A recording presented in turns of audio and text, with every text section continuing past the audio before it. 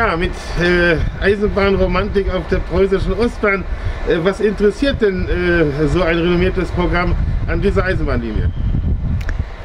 Nun ja, äh, früher mal war das eine der bedeutendsten äh, Eisenbahnlinien Europas. Und äh, jetzt ist es nicht mehr durchgehend befahrbar. Es ist jetzt in drei Abschnitten unterteilt, in Deutschland, Polen und in Russland. Äh, was allerdings vom Interesse ist natürlich, ist, dass es, äh, sagen wir mal so, ein wiedergenesenes Interesse gibt. Ich glaube, wir müssen unterbrechen. Ja, ja.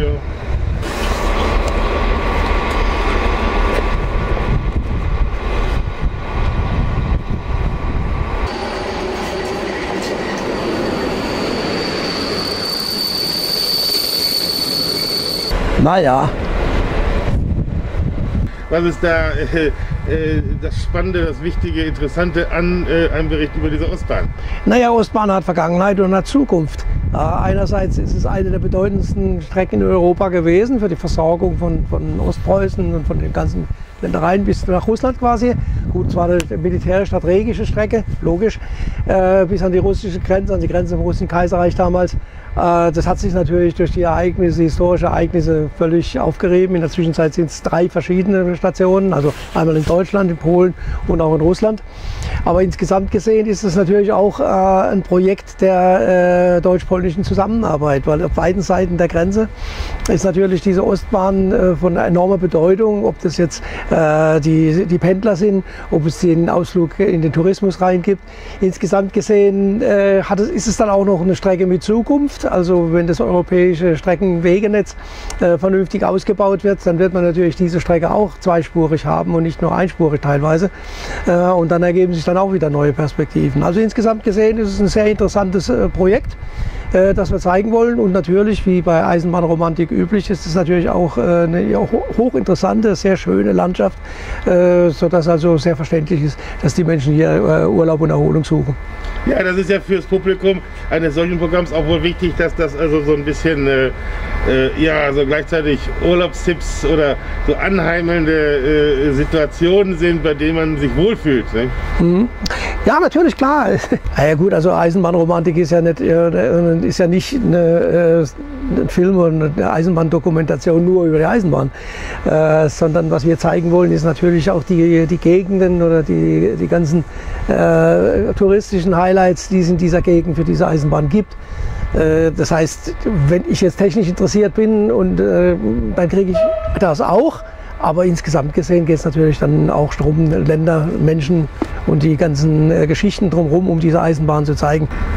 Sie waren ja von Anfang an mit dabei bei der Eisenbahnromantik, die ja als eigentlich äh, so eine Art Pausenfüller äh, gedacht war mit 10 Minuten Minifilme und dann äh, ist das so gestartet, äh, dass daraus ein richtiges, äh, vollwertiges Programm wurde mit unheimlicher äh, Popularität. Wie erklären Sie sich diese, diese Attraktivität?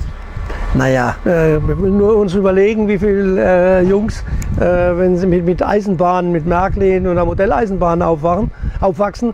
Und äh, wenn man Jungs in dem Alter fragt, na, was willst du mal werden, dann ist Lokomotivführer immer ganz weit vorne. Ja, das war früher schon so, das wird äh, heute immer noch sein. Ich war nicht ganz von Anfang an dabei. Die ersten zehn Jahre habe ich zwar schon in dem Sender gearbeitet. Ich habe Hagen damals gleich schon kennengelernt. Und das Interessante war ja, er hat mir damals, äh, lange bevor das losgegangen ist, hat er mir von seiner Ide- Idee erzählt. Auch das mit den Loks, die bei den Jungs da ist. Und äh, wir haben damals äh, zusammen mit dem SDR, das ist die Deutschen Rundfunk, zusammen in, in der Fußballmannschaft gespielt. Und äh, da saßen wir dann in Saarbrücken abends äh, an der Bar und dann hat er so von seiner Idee erzählt. Bis dahin hat er Sportreport gemacht und, und äh, an Landesschaubeiträge. Und dann hat er gemeint, also sein, sein Traum wäre dann eben so, solche Eisenbahnfilme zu machen. Äh, und ich fand das eigentlich damals nicht so spannend, weil ich dachte, ja, ja, aber ja, mach mal. Ne? Und so. Und er hat es dann also zielgerichtet wirklich umgesetzt, Stück für Stück, vom Pausenfüller über die äh, Kurzfilme bis hin zu einem äh, wöchentlich und dann sogar fast jeden Tag.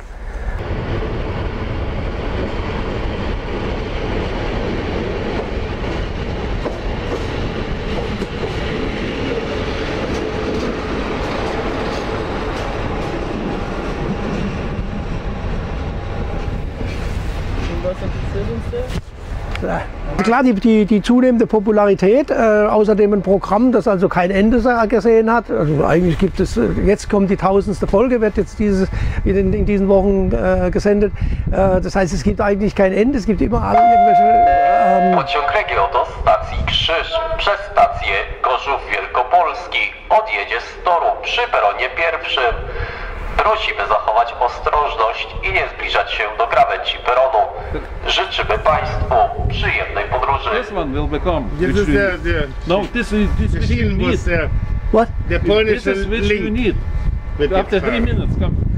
Uh, that one that's coming this break? Yes, this one those after three minutes coming here. So I must have due preparation. This one will, will, will go, this one will go this direction, right? Yeah, yeah, yeah. Okay, and then from Berlin will coming this way. Yeah, yeah, yeah. Right, I, I take that one. This is not interesting at all. Let's go. Forget it. I, I will take that one. Further on. Gut. Ja, also äh, äh, das ist schwierig, ja. Äh, also wir waren, wir waren gewesen, das Themen gibt es so äh, Ja, ja, so ohne Ende. Und dieses Jahr gibt es, wie gesagt, die, die tausende Sendung. Äh, ich plane im Moment äh, 1000, keine Ahnung, 1004, 1005 in Brasilien. Dann gibt es jetzt hier den hier, der ist ja jetzt gleich am 11. Dezember.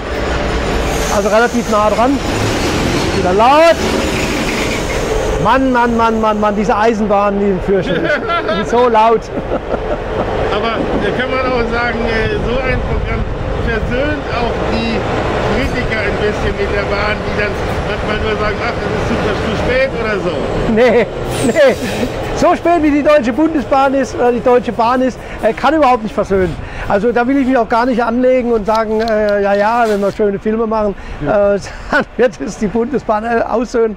Das ist es nicht. Aber ich meine, äh, die Bundesbahn ist ein Riesennetz äh, mit unglaublich komplizierten äh, Streckenbewältigungen, unterschiedlichen Firmen, die da mit dabei sind. Also man kann da, sagen wir, von Estland kann man vieles lernen, okay. Aber Estland ist auch ein kleines Land und ist zentriert und das System und das Netz ist nicht ganz so groß oder überhaupt nicht so groß wie die Deutsche Bahn. Also, äh, aber es gehört einfach dazu. Auf die Deutsche Bahn kann man schimpfen, selbst stimmt oder nicht. Meistens stimmt es ja nicht. Aber die Geschichten, die sie hergibt, äh, die sind schon schön und von daher äh, und international ist sowieso kein Ende zu sehen. Ja. Also man findet- immer irgendetwas. Bin mal gespannt, ob ich die, äh, die Sendung Nummer 2000 erlebe. Muss mal sehen. Ich glaube nicht, aber äh, die Sendung 1000 ist schon mal ein Erfolg. Also, äh, dass es eine Sendung fertig bringt, auf 1000 zu kommen. Ja, das muss man sagen. Also äh, jetzt ist natürlich äh, das Format ohne den Hagen von Ottloff äh, äh, so einen äh, sympathischen Moderator als äh, Nachfolger zu finden, ist auch schwierig. Ne? Muss man ein bisschen anders dann machen. Das ist eine andere Form. Also mit Hagen zusammen war das immer mit einer Moderation davor. Hagen selbst hat die Idee verwirklicht. Er nimmt im Prinzip immer noch teil. Er hat seine, auf Facebook hat er dann einen Kanal, wo er regelmäßig seine eigenen Filme macht. Also der bleibt der Bahn ständig erhalten, klar. Und, der hört nicht auf. Der wird wahrscheinlich mit der Eisenbahn beerdigt zusammen. Und dann wird wahrscheinlich äh, die Eisenbahn die erste sein, die drunten liegt und nicht er. Also äh, ich bin da sehr zuversichtlich, äh, dass der noch weitermacht und es gibt auch keinen Grund, warum nicht. Und sein Nachfolger, der Harald Kirchner, der ist äh, auch ziemlich von Anfang an dabei gewesen. Also er macht das ganz in dem Sinne. Äh, auf der anderen Seite geht es natürlich auch die Notwendigkeit, dass man einfach äh, es modernisiert.